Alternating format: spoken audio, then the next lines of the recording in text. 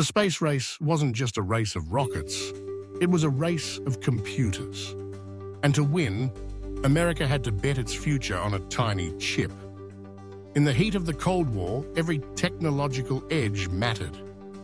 Traditional computers were enormous, power-hungry and unreliable, hardly the kind of brain you could launch into orbit.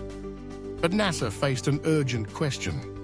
How do you guide a spacecraft across a quarter million miles with absolute precision? The answer was revolutionary. NASA put its faith in the integrated circuit, a microchip that was still experimental, barely more than a laboratory curiosity.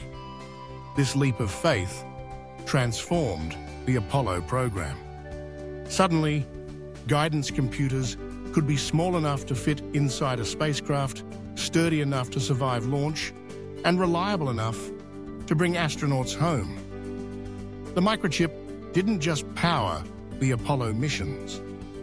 It proved itself as the silicon heart of modern technology, forever changing the balance of power in the Cold War.